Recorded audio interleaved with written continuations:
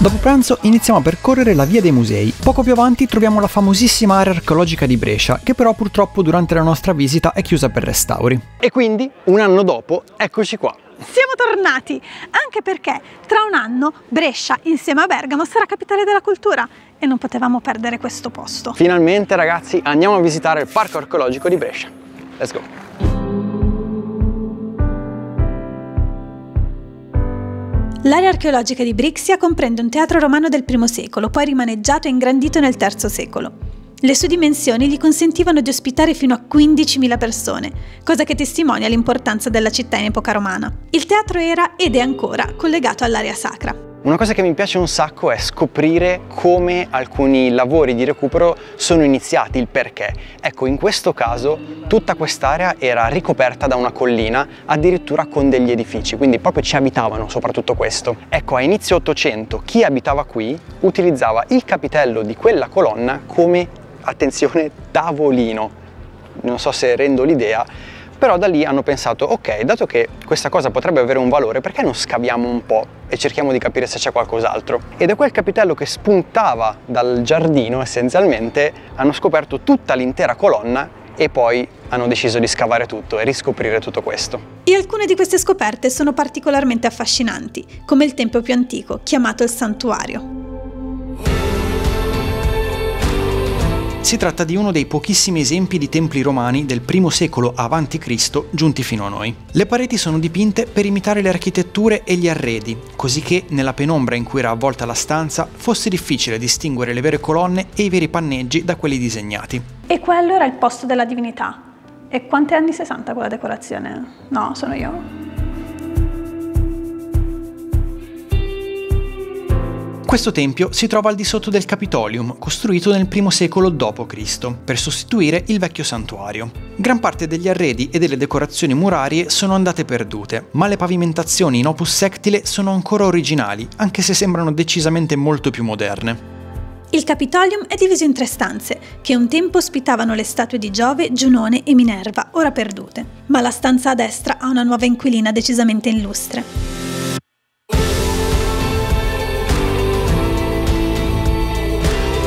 La vittoria Lata, posta a Brescia nel I secolo d.C., forse per commemorare una vittoria militare. Questa statua è uno dei pochissimi esempi di statue bronze romane tanto antiche e complete. Infatti, quando l'impero romano passò al cristianesimo come religione ufficiale, molti simboli pagani vennero distrutti. Ma questa statua, insieme ad altri elementi ora conservati nel Museo di Santa Giulia, venne nascosta da qualcuno in un'intercapedine muraria, dove è rimasta fino al 1826. E ve lo dicevamo che Brescia è la città più sottovalutata d'Italia. Lo sapevate che qui c'era una delle statue dell'antichità più importanti al mondo? Scommetto di no. Ora però non rimaniamo qui in città, ma andiamo in Franciacorta. Let's go.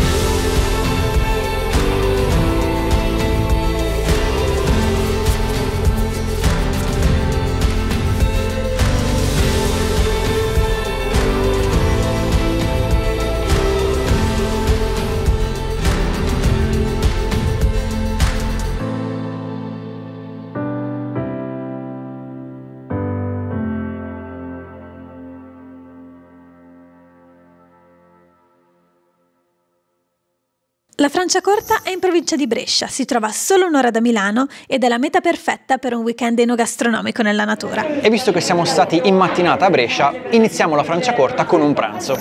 Siamo da Cadebasi e, ok, non saranno piatti proprio super tipici, quelli ci sarà tempo. Adesso cominciamo con qualcosa di particolare. Cadebasi propone curiosi piatti preparati con ingredienti di alta qualità e per provare più cose ha nel menù i buffetti, piatti con porzioni più piccole, che però non bisogna chiamare tapas. È cotto meravigliosamente bene. E da qui iniziamo anche ad abituarci ad accompagnare tutti i piatti con il franciacorta. E dopo un dolce ai piselli, lasciamo la macchina e cominciamo a esplorare il territorio.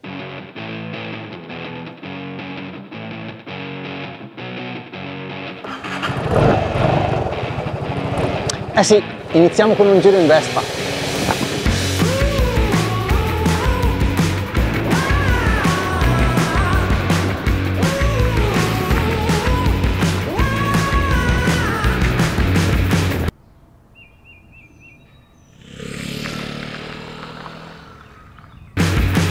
Il giro guidato in Vespa con Motolake Tour ci porta ad attraversare i vigneti della Franciacorta e poi ci si ferma anche in diversi punti di interesse.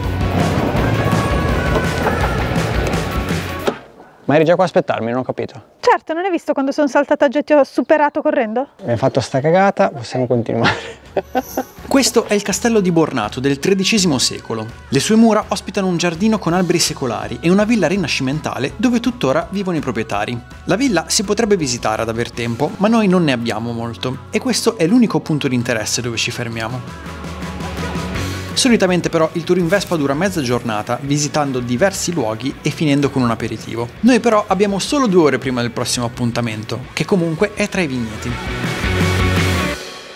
Visto che siamo in Franciacorta non possiamo non parlare di Franciacorta, quello che si beve vino, ovviamente. sì. Sì. Vino non so se si può dire, perché Franciacorta si, si deve chiamare Franciacorta, tipo ci sono delle parole bandite che sono spumanti, champagne chiaramente spumante non si può dire. No, Bollicino dovrebbe essere concesso, forse sì, però tipo prosecco assolutamente no. non si può dire. Franciacorta è Franciacorta. Esatto, quindi attenzione altrimenti vi cacciano. E ora Entriamo. entriamo. Le cantine che producono il Franciacorta sono poco più di 100 e questa è la cantina Bella Vista, che prende il nome dal fatto che si trova su un'altura dalla quale si gode di un ampio panorama. Bella Vista è nata nel 77 per hobby, grazie all'imprenditore Vittorio Moretti, ma oggi è una delle più grandi cantine della zona. Come per tutti i Franciacorta, la vendemmia viene fatta obbligatoriamente a mano. Poi le uve dei 206 ettari di vigneti di questa cantina vengono sapientemente mescolate per ottenere un gusto sempre riconoscibile e di pregio, tanto che uno dei Franciacorta di Bella Vista è stato scelto come bollicino ufficiale del Teatro alla Scala. Le diverse cantine sono aperte alle visite tutto l'anno, ma anche se il nostro viaggio è stato d'ottobre, vi citiamo il Festival del Franciacorta, che si tiene a settembre. Vi lasciamo un link in descrizione. Mi sembra un retrogusto quasi di miele di castagno. Qui quasi quasi sento di più gli agrumi rispetto all'altro. E ora che è calata la sera, è tempo di andare a cena. Andiamo a mangiare. Dunque, siamo al ristorante Bella Iseo e dopo un pre-antipasto di Lucio Perca abbiamo preso un antipasto misto di pesce. Sono quasi tutti pesci di lago, tranne il tonno, cotto a bassa temperatura. Poi abbiamo luccio perca di nuovo, trota salmonata e questo è quello secondo noi più interessante, Oh, una sarda di lago, ovvero un agone, servito sulla polenta. Vengono fatti seccare, marinare, poi grigliati e serviti con la polenta. Piatto tipico e qui proposto come antipasto. ufficiale l'assaggio della sarda di lago fatta proprio come la tradizione di Montisola vuole. Metodo classico. Ah no, quello per i vini. Molto saporita, è proprio molto molto saporito. Però ci sta, cioè non sa troppo di pesce, diciamo che un assaggino, ok, tutta intera, forse, forse per me è troppo. Però ci sta, qui è accompagnata con la polenta, quindi attutisce un pochino. Se pensavate che avessi preso io il riso, vi sbagliavate. Ho preso la pasta senza glutine fatta in casa e non contenta ancora con le sarde di lago, croccantizzate, fresche e croccantizzate. Che buona questa pasta, gnammi. Tu? Io invece ho preso il riso col franciacorta e un pesce di lago che non mi ricordo il nome. L'unione di franciacorta e iseo, ecco. Molto buono e molto saporito. Comunque, noi adesso finiamo qui e poi si va a dormire. Vi mostriamo dove dormiamo, anche perché questo in realtà è il ristorante dell'hotel. Andiamo. Dunque eccoci in camera, ma facciamo così. Noi ci cambiamo e lasciamo che Giorgio e Martina del futuro vi raccontino di questo hotel. Ah, ok. Voglia di lavorare con i 2-0, eh, va bene, vai. Comunque, l'hotel Araba Fenice è un hotel 4 stelle che si affaccia sul lago di Iseo e si trova qui dall'Ottocento. È stato luogo di villeggiatura per l'aristocrazia bresciana e durante il risorgimento italiano ha fatto da sede per le riunioni patriottiche. Più di recente, l'artista Christo ha soggiornato qui mentre progettava il The Floating Piers. E a me quello che mi ha sorpreso tanto è la tenacia, la forza d'animo che aveva, perché vedere un uomo di 80 anni che a mezzanotte l'una ancora lì che catechizzava la sua squadra, decisamente è stata una cosa particolare. Ed è per questo che c'è una suite che si chiama The Floating Piers, che è quella dove stiamo noi. Quindi facciamo un giro. Room tour. Benvenuti nel nostro salottino Grazie, grazie. con le chaise longue per rilassarsi. Lì c'è una faccia sul lago, però vabbè. Montaggio, perché adesso è buio. E dietro queste due porte, che sono rivestite della stessa stoffa del The Floating Piers, c'è il letto. I comodini sono pezzi di galleggiante del The Floating Piers, un galleggiante tagliato in due per fare due comodini e poi ci sono varie teche con i diversi cimeli. Ma adesso il motivo per cui ci siamo cambiati è che nelle stories vi abbiamo tenuto nascosto. Vediamo, vediamo il bagno.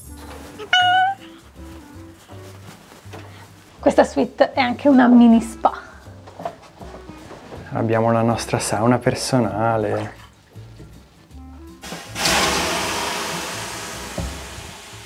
Chiudi la porta. Ma ovviamente non finisce qui.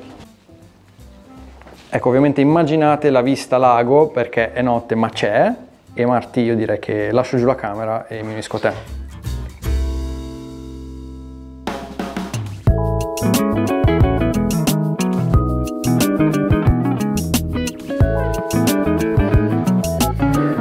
Buongiorno così. Buongiorno. Dove andiamo questa mattina? Andiamo e scopriamolo. Devo dirlo adesso. La nostra giornata inizia alla riserva naturale delle Torbiere del Sebino. Tra 800 e prima metà del Novecento da questo terreno si estraeva la torba da usare come combustibile. È a causa di questa attività che si sono formate le grandi vasche che col tempo si sono riempite d'acqua proveniente da questa zona paludosa, creando così un habitat perfetto per molte specie di piante e uccelli che però proprio non vogliono farsi riprendere.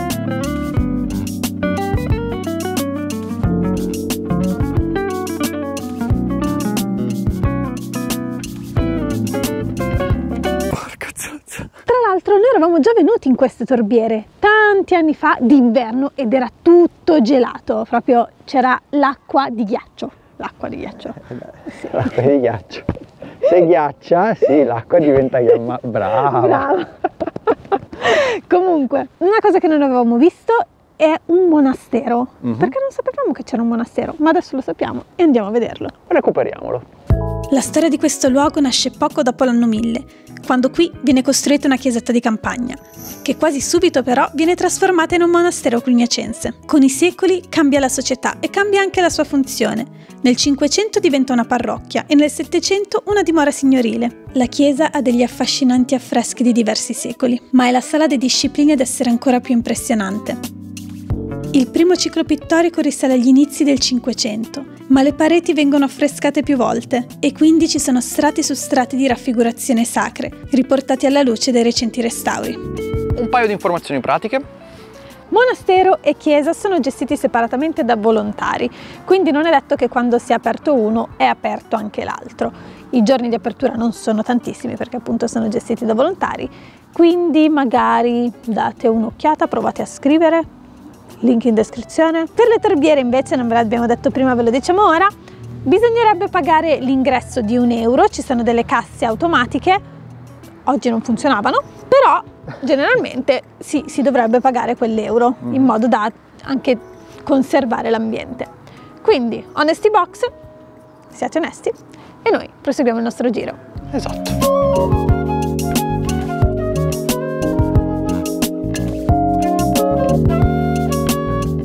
Nostra prossima tappa è il Borgo Antico San Vitale, un complesso composto da un edificio e una chiesa, originari del IV e V secolo, modificati negli anni e oggi adibiti a ristorante e spazio per eventi. In più ci sono due edifici moderni, costruiti per essere in armonia con quelli antichi e ospitare una distilleria Franciacorta. Eh già, perché in Franciacorta non si fa solo il vino, ma anche la grappa. Nella distilleria Borgo Antico San Vitale le vinacce di Franciacorta vengono fatte lievitare per 30 giorni, poi distillate a 140 gradi per ottenere la testa, il cuore e la coda della grappa. A questo punto succede qualcosa di unico nel processo produttivo. La coda viene ridistillata per togliere la sensazione alcolica che fa bruciare la gola e lacrimare gli occhi. Così si ottiene una grappa dal gusto morbido e rotondo. Parte della grappa viene subito imbottigliata a mano, il resto viene messo ad invecchiare in botticelle di rovere fino anche a 5 anni. Dopo aver visto la distilleria è ora di dedicare il tempo al ristorante Due Colombe dello chef Cerveni e ammettiamo di essere un po' emozionati perché questa è la nostra prima volta in un ristorante stellato. Abbiamo un menù degustazione con tre piatti e iniziamo con la patata viola, il gambero rosso e il franciacorta. Ma lo devo rovinare? Eh, eh che dobbiamo fare? Ok, ho detto tutti gli elementi in un'occhiaiata. Che buono! Lo chef evidentemente ci ha visto un po' sciupati e ha aggiunto dei piatti. Io ho una melanzana fondente. E tu? Io invece ho raviolo con coregone, pesce di lago, con bottarga di coregone. Assaggiamo rigorosamente cucchiaio e tutto intero. Potevi aiutarti con la forchetta?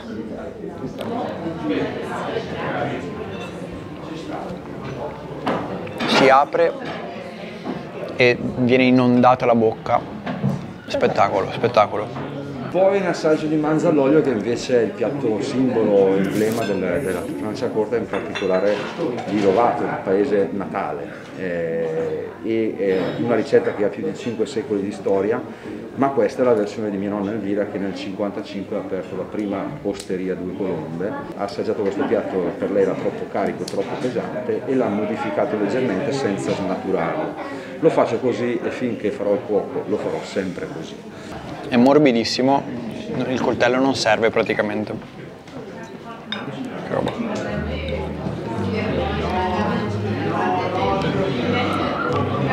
Ma il dolce con l'olio com'è?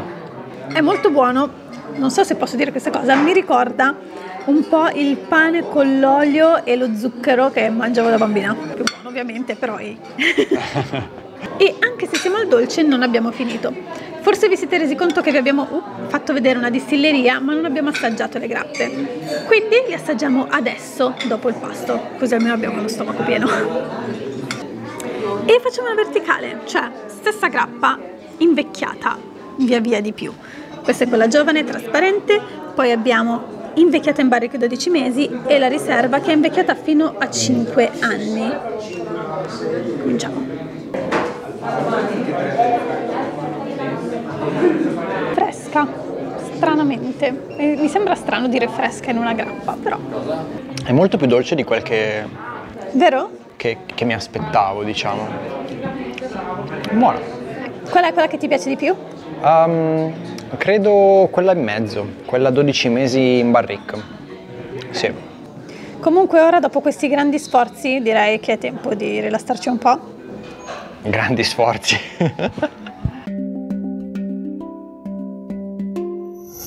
Raggiungiamo la Spa del Resort I Cappuccini. Qui il percorso in spa dura circa due ore ed è un percorso guidato, quindi non si può andare dove si vuole quando si vuole. Ci sono una sauna e un bagno turco e poi la piscina, con getti d'acqua che si accendono quando bisogna spostarsi. Grazie a questo sistema e al fatto che gli ingressi sono su prenotazione, si ha sempre la sensazione di essere da soli. Infatti il tutto è studiato perché in ogni punto della spa non ci sia nessun altro.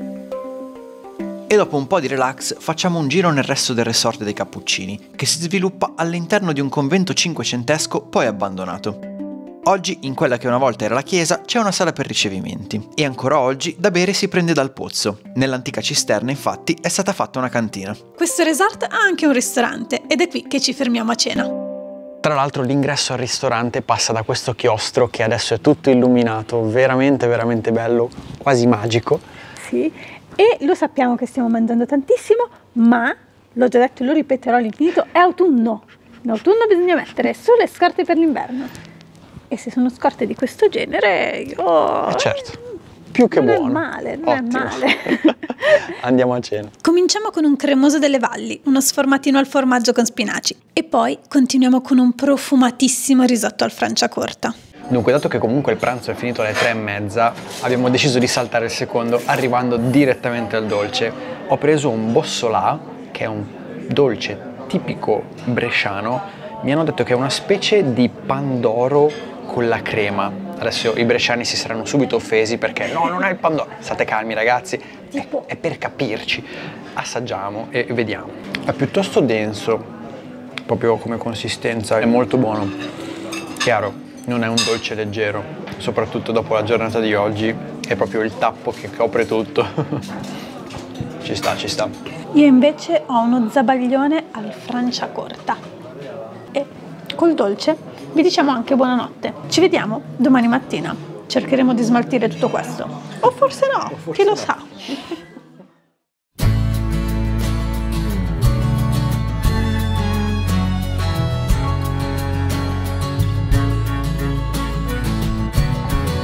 E questa mattina facciamo colazione al Caffè Bohème, che è dentro un'antica stazione, un'antica vecchia stazione, ma quanto è bello! Quante cose voglio per casa? tipo la metà. Che tra l'altro molte delle cose sono effettivamente in vendita perché questo non è semplicemente un bar, ma un concept store che comprende anche un negozio di fiori e uno di confetti e caramelle. Comunque, colazione veloce. Dov'è il tuo cornetto? Tieni. Mangia, mangia. Grazie. Che poi si parte. Devo lasciare giù qualcosa.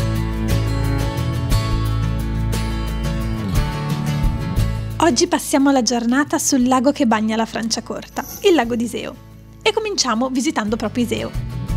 Le sue origini sono piuttosto antiche. Già in epoca romana era una tappa importante sulla strada tra Brixia e la Val Camonica.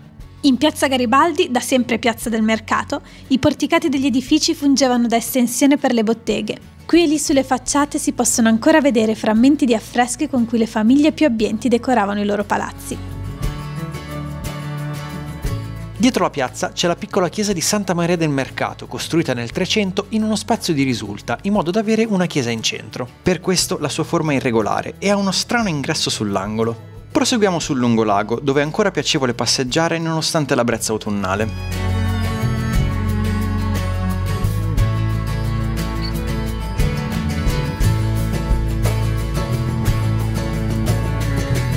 Entriamo poi tra le vie fino ad arrivare ad un altro edificio sacro, la Pieve di Sant'Andrea. Forse già nel V secolo qui c'era una chiesa di campagna che poi, con l'espandersi di Iseo, è stata inglobata nello spazio urbano. Il nome di Pieve però è rimasto. La facciata dell'undicesimo secolo con campanile centrale non prepara affatto agli interni della chiesa. Nell'Ottocento l'edificio è stato sventrato e gli interni sono stati completamente ricostruiti in stile neoclassico, dando così vita ad una stranissima accoppiata interni-esterni. Tra le varie opere presenti nella chiesa citiamo l'Arcangelo San Michele, che il pittore Hayez, sì, quello del bacio, ritrae nell'atto di scacciare il diavolo. Non riusciamo però a capire una cosa. Secondo voi quelle sono le ginocchia o il di dietro del diavolo? Beh, mentre ci pensate, noi torniamo in piazza. E questa è un'altra chiesetta che una volta era la cappella privata del vescovo, ma poi è stata via via ingrandita.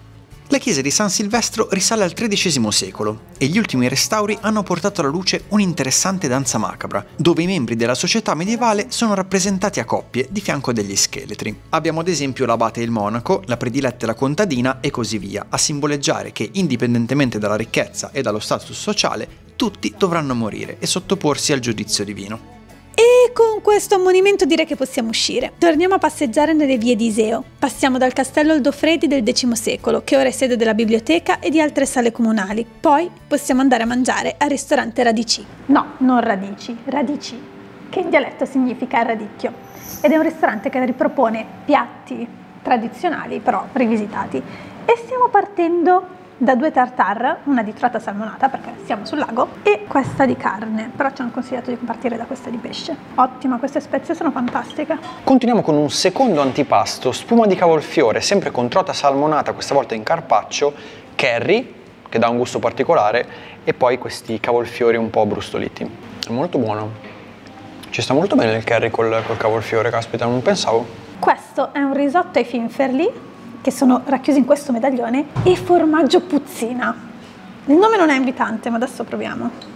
Wow, sapore decisamente meglio del nome. Continuiamo con uno storione con caviale e salsa al franciacorta, con una base di porri anche, via, aggiungiamo dettagli. Molto buono, la salsa insaporisce tanto e mi piace molto. Arriviamo al dolce con la torta di rose. Prima di assaggiarla però un'informazione importante. Eh, questo posto a pranzo è aperto soltanto il sabato e la domenica, per il resto è aperto a cena e se vedete che oggi non c'è nessuno è perché ci hanno fatto l'apertura straordinaria di venerdì. Quindi vabbè, piccola parentesi. Assaggiamo. Ciao proprio. Buonissima. Bella calda, mascarpone buonissimo. Possiamo proseguire? Andiamo. Sì, siamo in hotel, ma la giornata non è finita. Adesso da qui prendiamo questo gioiellino e ci facciamo un giro sul lago.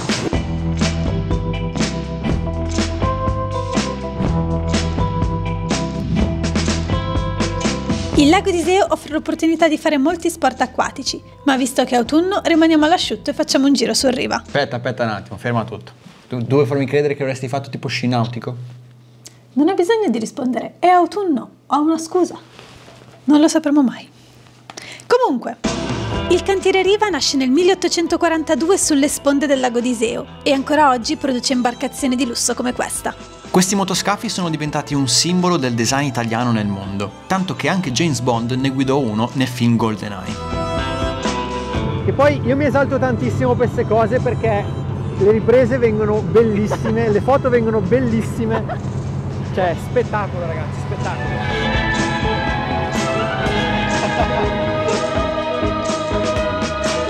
Giriamo tutto intorno a Montisola e passiamo vicino all'isola privata di Loreto e a quella di San Paolo, che ha fatto parte del The Floating Piers. Infine arriviamo all'attracco per i traghetti di Sensole e scendiamo su Montisola. Ciao, grazie. Proseguiamo così, Marti, Montisola, Andiamo. no? Chi- a chi servono le scarpe? Montisola è l'isola lacustre abitata più grande d'Europa, inoltre è uno dei borghi più belli d'Italia e il suo fascino era riconosciuto già nell'Ottocento, quando pittori, scrittori e poeti venivano qui a passeggiare e lasciarsi ispirare dall'atmosfera e dal paesaggio. E ora anche noi, come tutti questi artisti romantici, percorreremo la via delle Ere fino al prossimo paese.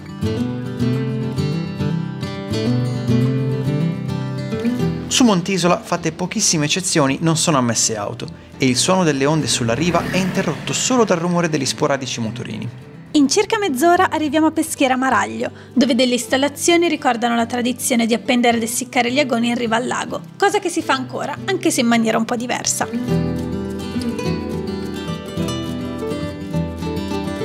Mentre il sole tramonta ci addentriamo nelle tortuose vie del paese, fino ad arrivare alle terrazze del Residence Oldofredi, dove ci godiamo un aperitivo tipico.